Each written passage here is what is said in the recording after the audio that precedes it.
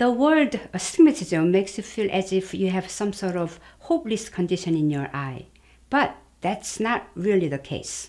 In fact, astigmatism is usually the first one to disappear when you practice simple natural vision improvement techniques. A helpful information for you to know is that astigmatism is mostly acquired and lower degrees of astigmatism come and go throughout the day. In fact, studies have proven that 1.5 to 3 diopters of astigmatism can be produced by inducing eye strain.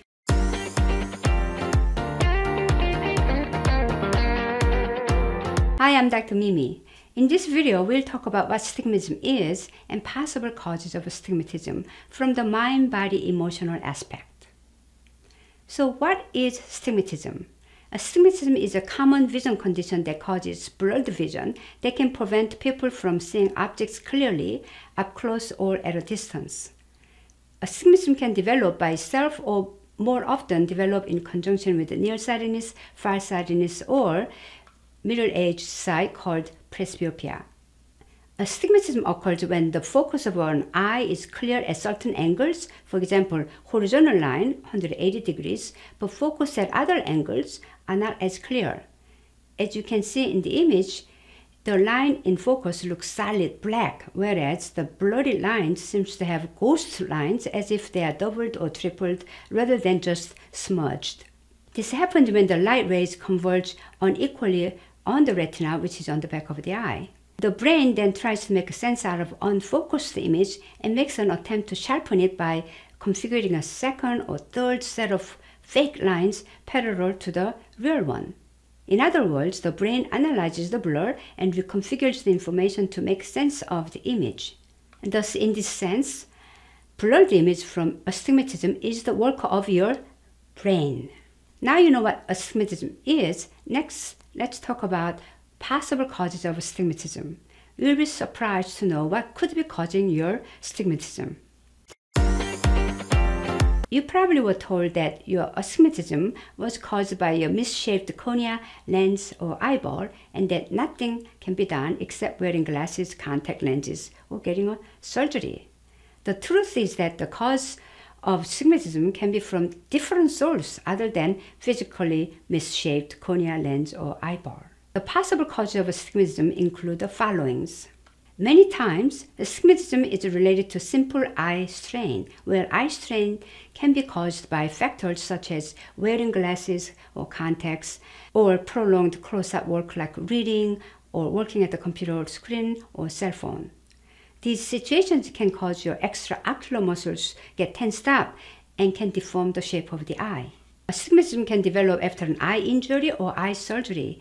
One of the side effects of LASIK surgery is astigmatism. As an example, one of my students had a LASIK surgery done on both eyes when she was 26 years old. Then, three years later, she started seeing little blurry again and found out that she developed minus 1.5 diopters astigmatism in both eyes.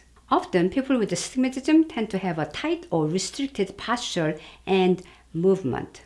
Elliot Forrest, an optometrist, found the relationship between head movement, posture, and visual scanning.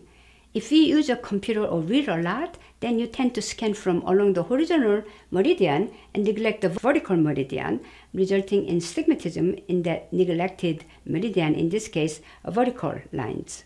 You have imbalanced the posture by habitually tilting your head to one side. This bad posture can cause astigmatism. Astigmatism also can be caused by wearing bifocal, trifocal, or progressive lenses. When you wear these lenses, you have to frequently tilt your head back to read or look at the computer screen. This posture can cause uneven muscle tension pattern, producing astigmatism. Constant downward gaze by looking down to read a book your laptop or mobile device or other visual tasks involving downward can produce eyelid pressure, causing corneal distortion related astigmatism. Astigmatism may also result from a twisting of the spine, pelvis, or neck. For example, neck injury or whiplash in automobile accidents can develop spontaneous astigmatism. According to Dr. Robert Mendelsohn, renowned pediatrician, astigmatism in babies and children can come from the birth trauma, including forceps deliveries, glaring hospital lights, or antibiotic eye drops or eye ointments used in newborn babies. Severe mental shock can introduce long record of astigmatism.